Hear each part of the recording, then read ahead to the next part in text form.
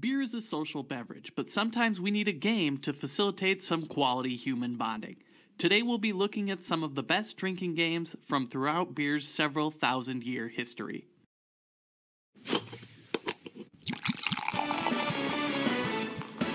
Hello, beer nerds. Welcome to Beer by the Numbers, the show where we examine the facts and figures surrounding the most liberal libation in the world beer. What's a great party without some drinking games? Today we'll go over a brief history of drinking games, and maybe we'll find that some are worth trying at your next party. Most drinkers have played cornhole or beanbag toss, but this game has its roots in ancient China with a game called pitch pot.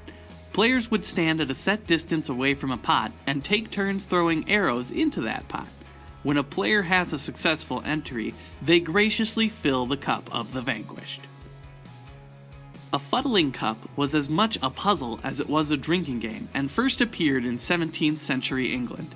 The object of the game was to drink from these strange vessels without spilling a drop. Attempting to drink normally would result in beer being splashed on the drinker.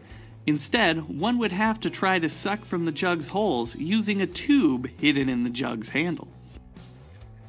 Staying in jolly old England, pennying is a simple game where participants try to sneak a penny into someone's beer in order to make them chug it.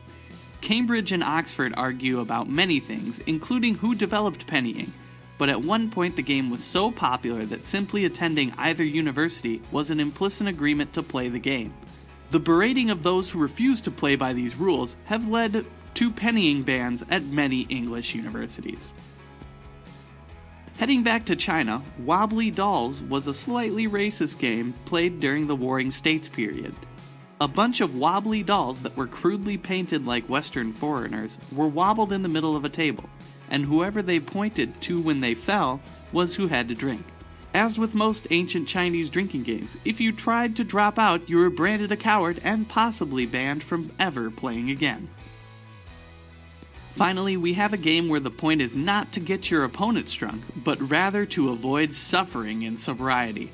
Passatella is an ancient Italian drinking game in which a game is played or lots are drawn to determine a boss and an underboss. Then, all players would chip in to buy a round of drinks. The boss and underboss would distribute the round of drinks as they saw fit, usually with an elaborate and expletive laden speech about why each player was or was not receiving a drink. Those denied drinks would usually seek vengeance in the next round if they became the new boss, and games usually ended in violence when a more sober player became tired of seeing everyone else drink on their dime. If you enjoyed this video and would give it a drink in a game of Passatella, please give it a thumbs up below.